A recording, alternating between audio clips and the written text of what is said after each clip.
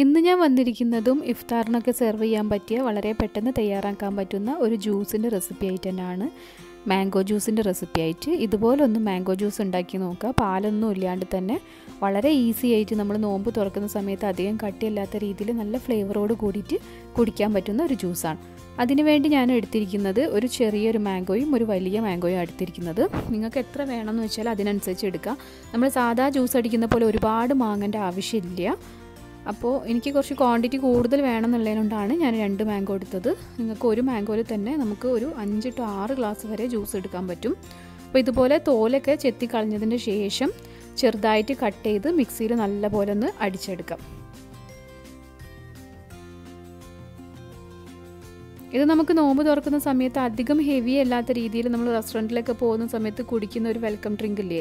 അതിന്റെ ഒരു ഫ്ലേവറാണ് വരിക. ഇതുപോലെ കുഞ്ഞു കുഞ്ഞു പീസാക്കിയതിന്റെ ശേഷം മിക്സീന്റെ ജാറിലേക്ക് ചേർത്ത് കൊടുക്കാം. ഇനി ഇതിലേക്ക് ഞാൻ ചേർക്കുന്നത് ഒരു പിടി ഫ്രഷ് പൊതീന ഇല മിന്റ് ലീഫാണ് ചേർക്കുന്നത്. ഇത് മിക്സീന്റെ ജാറിലേക്ക് ഇട്ട് കൊടുത്തിട്ട് നന്നായിട്ട് അരച്ച് ഫൈൻ പേസ്റ്റ് ആക്കി എടുക്കാം.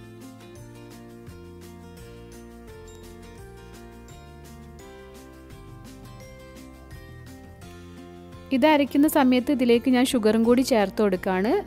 ആറ് ടേബിൾ സ്പൂൺ ഷുഗറാണ് ഞാൻ ഇതിലേക്ക് ചേർത്ത് കൊടുക്കുന്നത്.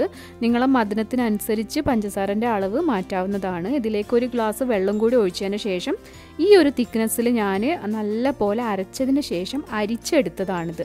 ആ പൊതിനന്റെ ആ ഒരു ഇതൊക്കെ ഉണ്ടെന്നുണ്ടെങ്കിൽ പോകാൻ വേണ്ടിയിട്ടാണ് അരിച്ചെടുത്തത്. ഇനി ഇതിലേക്ക് ആവശ്യത്തിനുള്ള വെള്ളം ചേർത്ത് നല്ല പോലെ മിക്സ് ചെയ്യുക ഇതിന്റെ മധുരം നിങ്ങൾ പാകം നോക്കണം. കുറവുണ്ടെങ്കിൽ ചേർത്ത് കൊടുക്കുക. അപ്പോൾ നല്ല ഈസിയും ടേസ്റ്റിയും നല്ല റിഫ്രഷിംഗ് ആയിട്ടുള്ള ഡ്രിങ്ക് ഇവിടെ റെഡി ആയിട്ടുണ്ട്. എല്ലാവരും ട്രൈ ചെയ്ത് നോക്കുക. ഇഷ്ടമാവുകയാണെങ്കിൽ ചാനൽ ലൈക്ക് ചെയ്യുക സബ്സ്ക്രൈബ് ചെയ്യുക.